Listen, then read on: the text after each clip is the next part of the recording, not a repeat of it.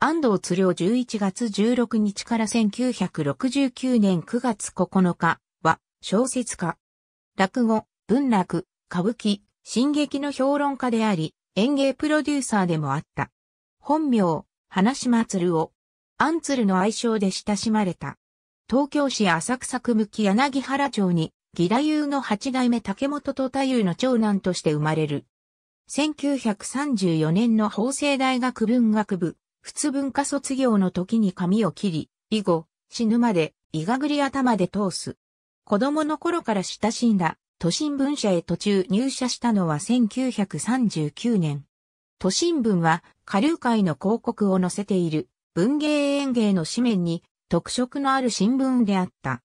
当初は、調査部に所属しながら園芸面に、落語研究会、東方名人会、文楽の東京工業を批評する記事を書き、翌年に文化部へ移った。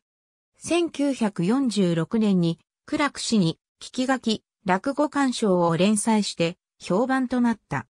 社外からの執筆要請が増えたが上層部から問題とされ、真綿で首の岩藤流の嫌がらせをされたことから、1947年9月に退社。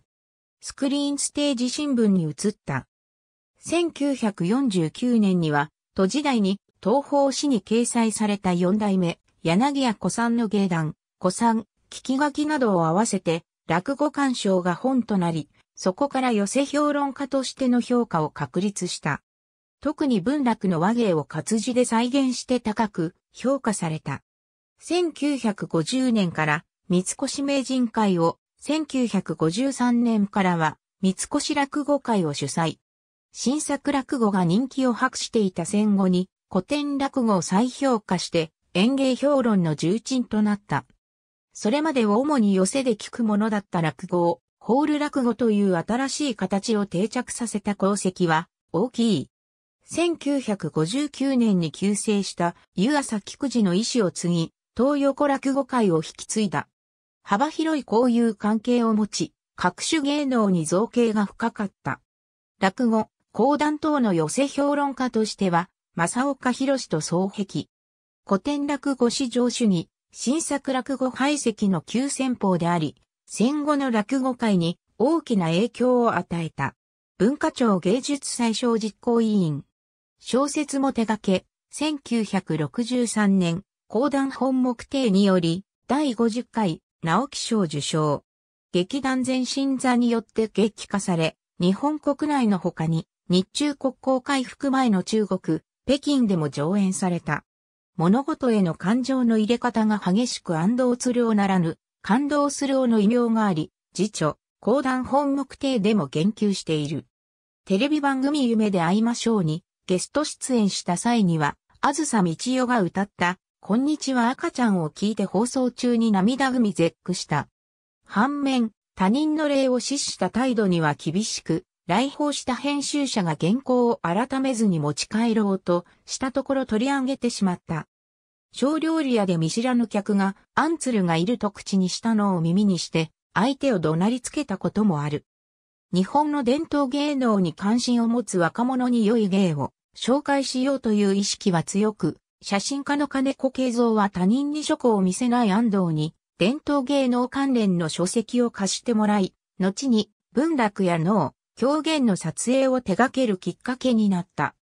A 六助は人間国宝であると豊竹山城症状の浄瑠璃を見せられて、当時は浄瑠璃そのものの良さが理解できず、正直に理解できないと言ったところを怒った安藤に、君は日本人ではないと言われ、後日安藤からわざわざ中国語に翻訳させた久しを叱る手紙が届いた。以降、A 君と呼んでもらえず冗談交じりに、4君と中国語風に呼ばれるようになり、それは安藤の逝去まで続いた。厳しい演芸評論の一面ユーモラスな面も持ち合わせていた。四谷にあるたい焼き屋を尻尾まであんこが入っていると戦後新聞市場で書いたところ大人気になり、その店は2012年現在も制業中。最晩年、東京に残された客席が畳敷きの最後の寄せだった人形町末広が閉場すると聞き、各方面へ保存を働きかけるも諸事情あり、自身が糖尿病で健康を害していたこともあって、保存は果たせなかった。1969年9月9日、糖尿病性昏睡のため、東京都文京区の東京都立駒込病院で死去。60歳没。戒名は、純徳院、角王道久子寺。1980年代には、落語ファン以外からは忘れ去られた存在となっていたが、安藤の影響を大きく受けた世代の一人である、小林信彦が、新潮について書いた文章等で自身に大きな影響を与えた存在として取り上げたため、再び注目を浴びた。小林は日本の喜劇人の古川六波についての記述において間接的に安藤は評論家としてよりもエッセイストとして優れていたと書いている。高田文夫は若い頃に安藤の多大な影響を受けたと語っている。また、近年のお笑いブームを幅広くフォローしている評論家、西条昇も安藤を高く評価し、同じ評論家としてリスペクトしている。安藤の活動、論調にとって実質的な師匠とでも言うべき存在は、久保田万太郎である。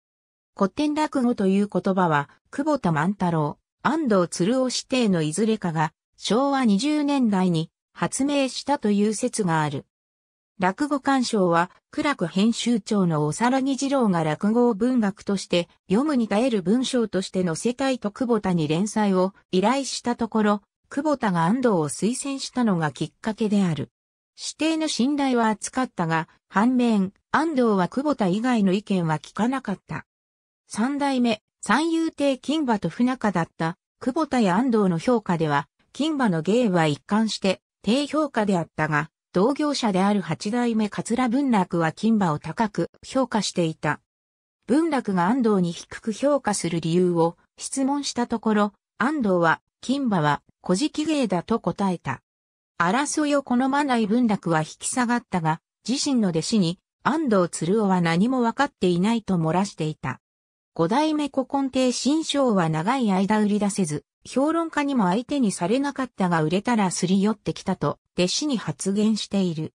五代目新章については、安藤は文章や放送台本で多数触れている。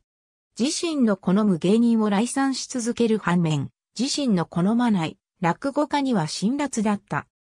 そのあり方から、本業の評論は、愚か生き方に至るまで激しい気方変に見舞われ、その頃すでに権威となっていた安藤に良くない印象を持つ者は、芸人、関係者、ファンに至るまで数多く存在した。